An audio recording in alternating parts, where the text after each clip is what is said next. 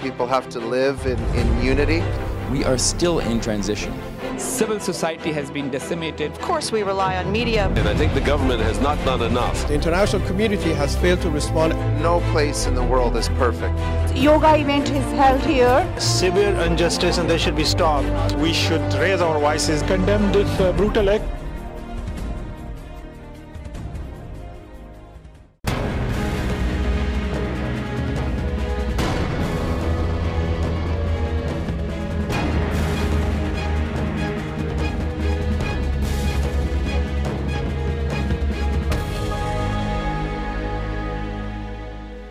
Hello viewers, welcome to Newsweek South Asia, a show where we will provide you fresh insights into South Asia's geopolitical, strategic and security situation. Let's take a look at the headlines first. UNGA President calls on international community to redouble efforts to eliminate global terrorism. Taliban obliterating Afghan women's rights.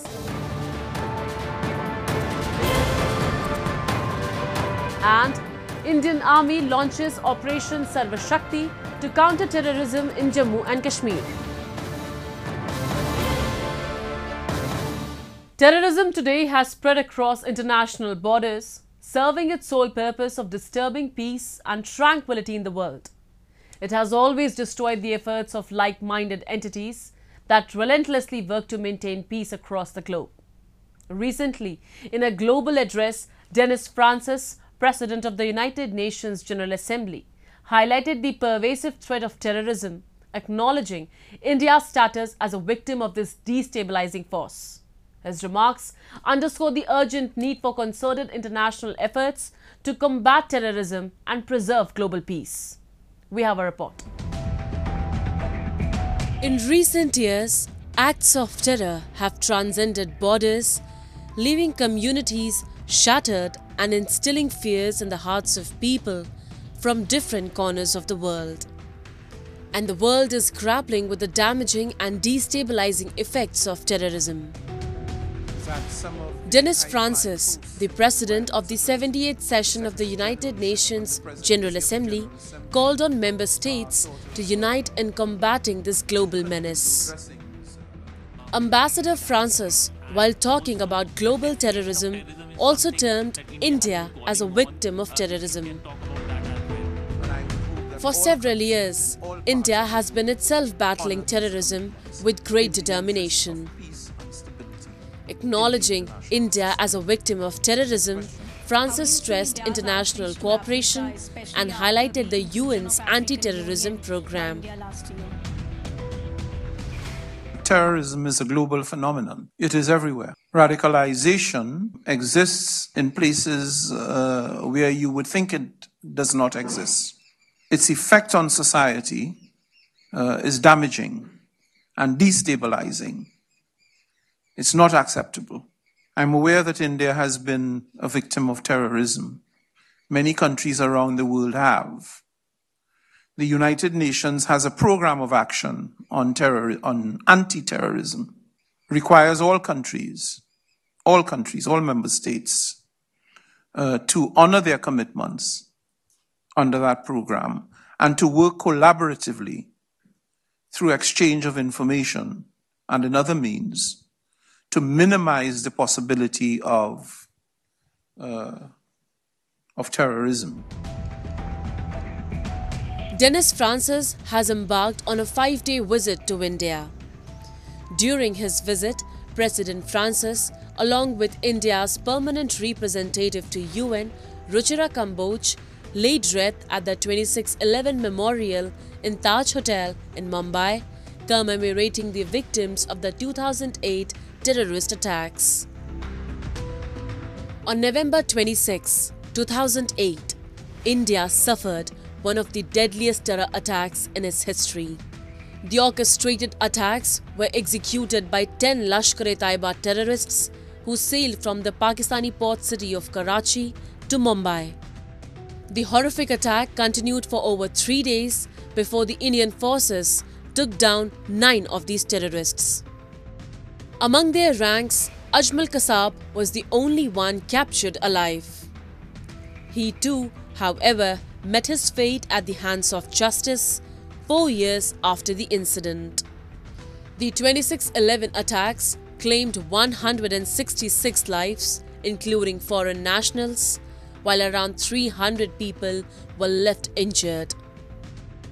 Recalling the tragic incident at a Mumbai hotel during the 2611 attacks, Francis called on the international community to redouble efforts to eliminate global terrorism.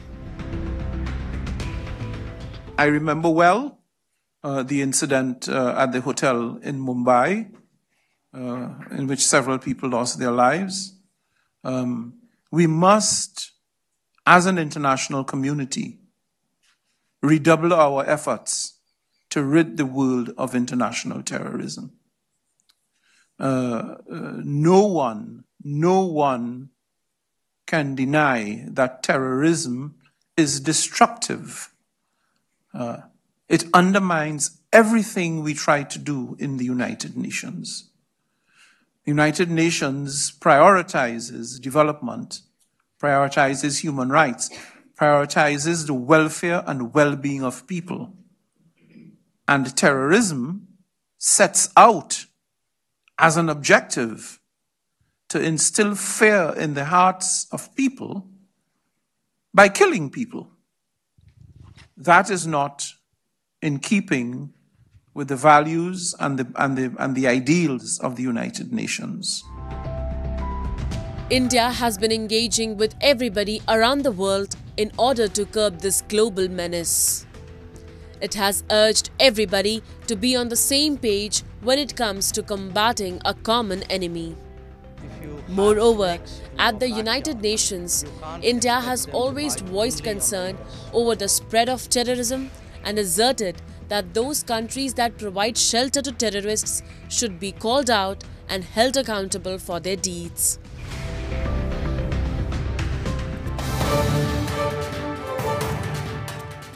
Moving on. In Afghanistan, the Taliban's draconian restrictions have plunged the nation into darkness, particularly affecting the rights and opportunities of Afghan women. With millions denied access to education, tens of thousands stripped of employment, and the suppression of women's businesses and activism, the hardline regime has regressed Afghan society, pushing women back into the shadows of oppression. A report. The Taliban's takeover of Afghanistan in August 2021 marked a significant decline in the nation's human rights landscape. The de facto rulers imposed harsh restrictions on freedom of expression and assembly using violence to suppress dissent. However, one of the most alarming consequences of their rule has been the devastating impact on women and girls. Many girls were forced out of school and now face early marriages. Women lost jobs and are now struggling to support their families. Some were attacked for opposing the Taliban and forced to flee. According to a recent United Nations report, the Taliban are restricting Afghan women's access to work, travel, and health care if they are unmarried or don't have a male guardian. In one incident, officials from the Vice and Virtue Ministry advised a woman to get married if she wanted to keep her job at a healthcare facility, saying it was inappropriate for an unwed woman to work, it said. Furthermore, the Taliban have barred women from most areas of public life and stopped girls from going to school beyond the sixth grade as part of harsh measures they imposed after taking power in 2021, despite initially promising more moderate rule. Recently, on the International Day of Education, UN Special Envoy to Afghanistan, Rosa Otunbayeva highlighted the ongoing denial of education for girls in Afghanistan and urged the de facto authorities to access of education for all. She called on the Taliban to recognize that education is not just a moral imperative but critical for prosperity and peace. The ongoing denial of education for all women and girls, it is not sustainable. As each day passes, the foundation of prosperous and equitable society is weakened. To the women and girls of Afghanistan, please know that you are not alone. The United Nations stands with you in solidarity and will not cease to engage and advocate for your future. This is not just a demand of Western nations, but also of the Muslim world. As recently, we've been at the conference where this presented by the Organization of Islamic Cooperation. Afghanistan's de facto authorities have profound duty to protect and promote these rights for every individual, regardless of gender. To maintain the current path is to only inflict further harm on all Afghans and to leave Afghanistan isolated both from the Islamic world and the international community. I therefore urge de facto authorities to recognize that education is not just a moral imperative, but critical for prosperity and peace.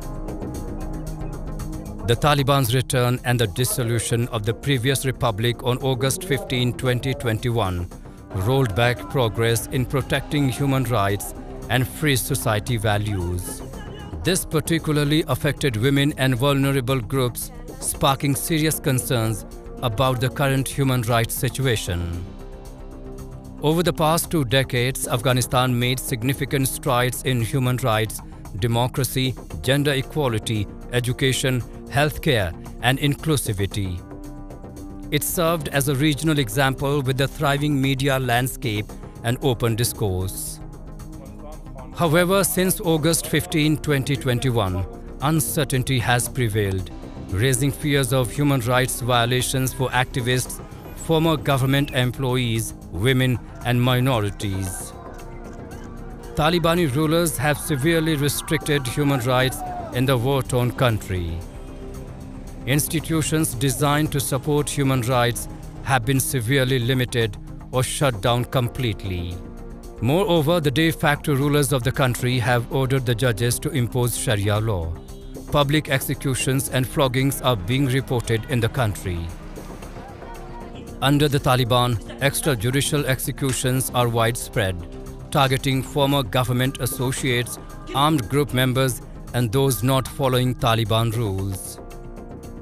In December 2023, Rosa Otunbayeva briefed the UN Security Council on the situation in Afghanistan, saying that the human rights situation in Afghanistan today is a record of systemic discrimination against women and girls, repression of political dissent, and free speech. Afghanistan was an original signatory to this declaration. But the key features of the human rights situation in Afghanistan today are a record of systematic, systemic discrimination against women and girls, repression of political dissent and free speech, lack of meaningful representation of minorities, and ongoing instances of extrajudicial killing, arbitrary arrests and detentions, torture, and ill treatment. Despite the recent release of two women activists, a number of human rights defenders and media workers continue to be arbitrarily detained. The lack of progress in resolving human rights issues is a key factor behind the current impasse. Afghanistan faces grave difficulties with de facto rulers ignoring world leaders' demands and instead blaming the West for the country's challenges. The Taliban rulers refuse to acknowledge that a more moderate ideology could have led to a better situation in Afghanistan.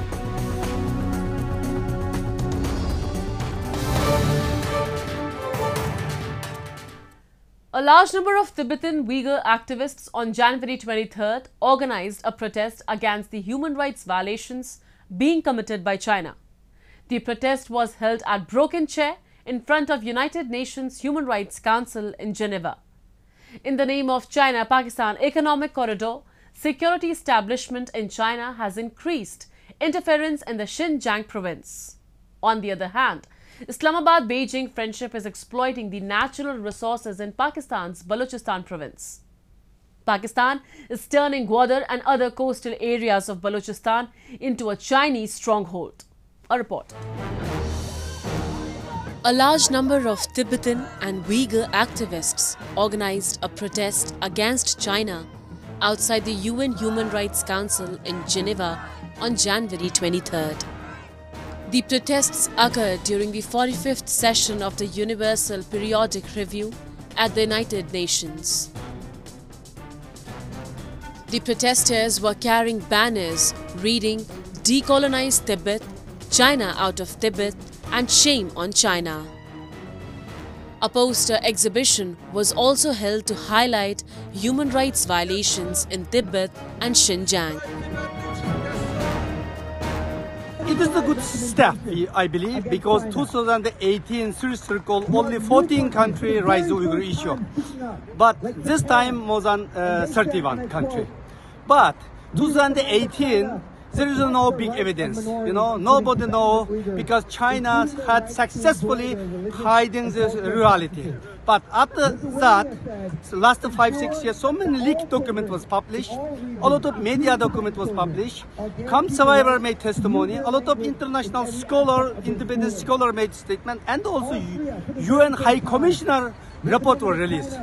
In this situation, only 30 countries speaking out, another 130, more than 130 countries, and they close the eyes, blind the eyes, and don't speak out. Even some of them is to give high price to the Chinese government on the name developed.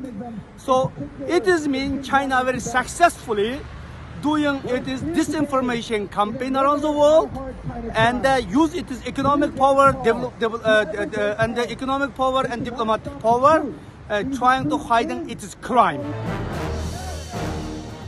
During China's third UPR in November 2018, Beijing received 346 recommendations from 150 countries and accepted 284 of them with many questionably noted as accepted and already implemented. Despite a seemingly high acceptance rate, China broadly rejected recommendations on the rights of Uyghurs and Tibetans. Beijing rejected cooperation with the UN and restricted UN access to all regions of the country. Since 2018, mounting human rights abuses have been largely documented by a range of UN human rights bodies. Uyghurs and Tibetans are, is not just a regional concern, but a global echo calling for justice, dignity, respect, and for human rights. In conclusion, as we stand together here today, at this critical juncture, let us remember that the Universal Periodic Review is more than a diplomatic engagement. It is a moral obligation. We are entrusted with the responsibility to uphold the principles of human rights, to advocate for the silence and to ensure that no individual or community is left behind. Let this UPR be a testament to our unwavering commitment to these ideals. Human rights groups believe China has detained more than 1 million Uyghurs against their will over the past few years in a large network of what the state calls re-education camps and sentenced hundreds of thousands to prison terms. Moreover, on the name of China-Pakistan Economic Corridor, security agencies and the army establishment have increased interference in the matters of civilian administration in Xinjiang. Pak-China coalition is exploiting people living on the both sides of the border. Pakistan is turning Gwadar and many other coastal areas of Balochistan into a Chinese stronghold that has the largest concentration of military cantonments and bases in the region. International observers say that it is the Chinese influencing the security policies of Pakistan in the region. They have been instructing Islamabad to get rid of the local people in the Gwadar region where the multi-billion flagship project CPEC culminates. Pakistan, which is already under massive Chinese debts, has no option but to follow commands.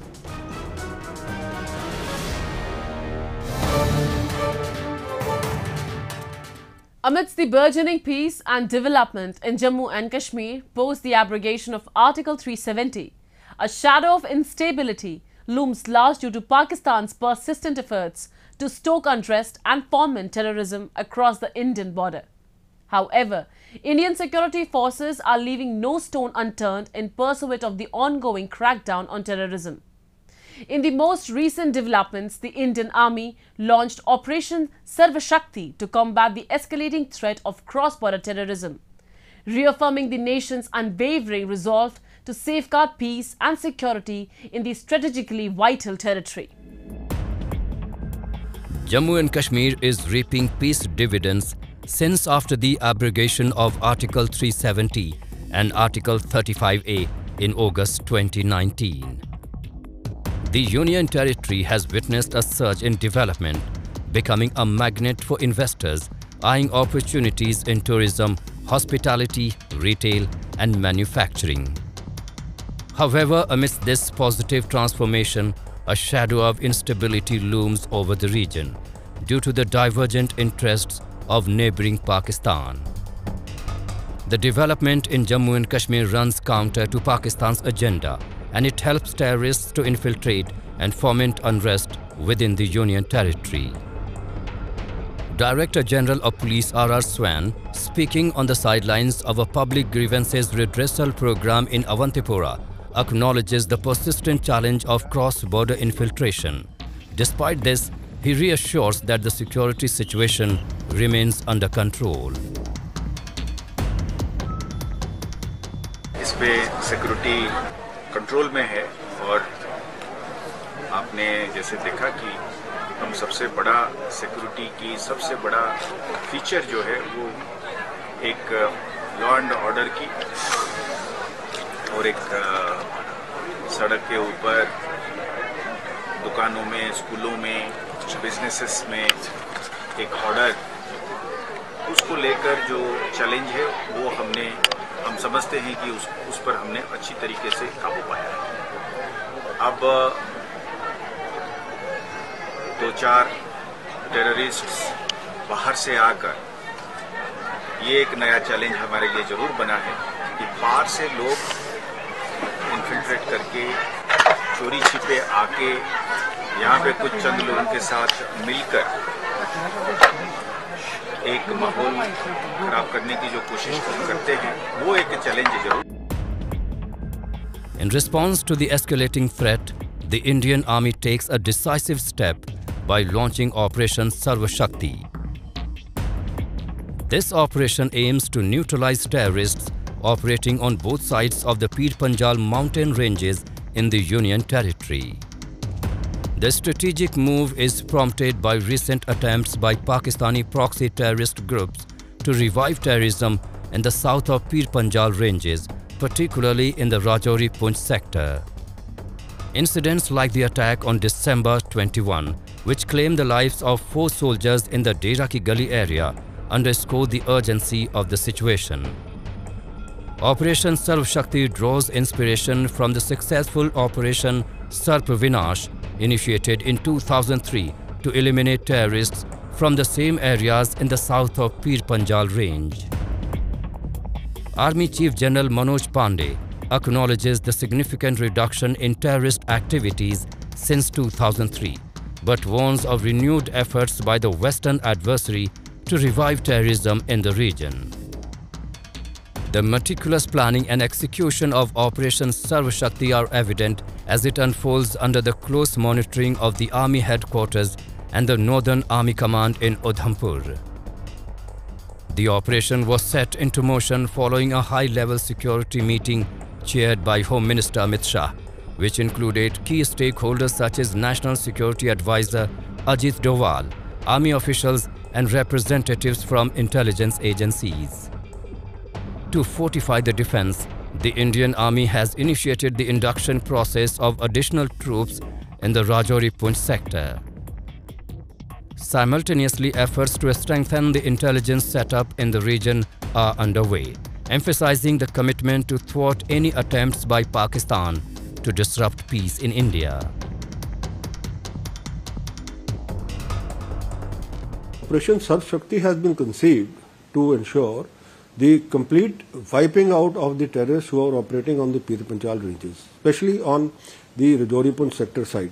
Now, this is being launched from both the ends, that is the uh, Srinagar-based corps and the Nagrota-based corps. Both of them are going to coordinate and it's being coordinated by the Northern Command uh, commander. Now, since Operation All Out started and then after that a complete wipeout of these terrorists was taken, was done in the Kashmir Valley, these uh, boys did not, uh, these terrorists rather, they terrorists did not go back to the valley, they stayed put here only.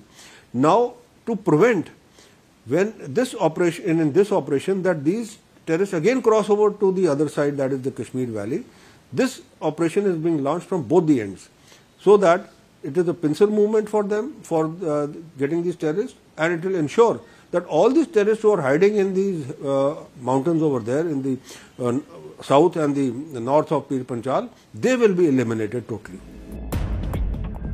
Despite internal challenges including economic difficulties, Pakistan persists in its covert endeavors to fuel terrorism in Jammu and Kashmir. In contrast, India stands firm with a well-structured framework to counteract such threats, ensuring the tranquility of the region remains safeguarded. As the Indian Army embarks on Operation Sarva Shakti, the nation remains resolute in its pursuit of lasting peace and security in the strategically significant Jammu and Kashmir.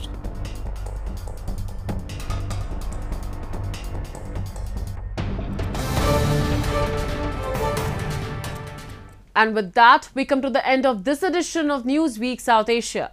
We'll be back next week with more news, views and analysis from the subcontinent. Meanwhile, do keep writing to us at nwsa at. This is Shivangi Mishra signing off on behalf of the entire production team of Newsweek South Asia. Goodbye and take care.